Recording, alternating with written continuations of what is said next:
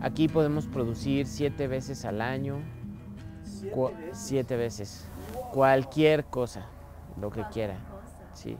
Un productor en una chinampa de 600 metros cuadrados puede producir en un mes 9 toneladas de verdolaga. Solo en un mes. Sí.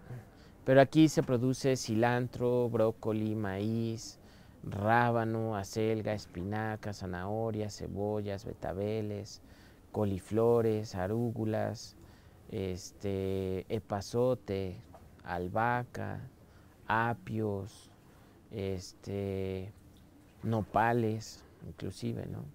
Podemos producir de to- calabaza, flor de calabaza, este, frijoles también se pueden producir. Sí, tenemos una tierra muy fértil y lo que le da esa, mm, ese éxito al producto es el lodo negro. El lodo que está en el fondo del canal es lo que hace que la planta pueda desarrollarse con muchos nutrientes. Porque ellos salen a los canales, toman el, lodo que está en el fondo del canal y lo ponen en la chinampa.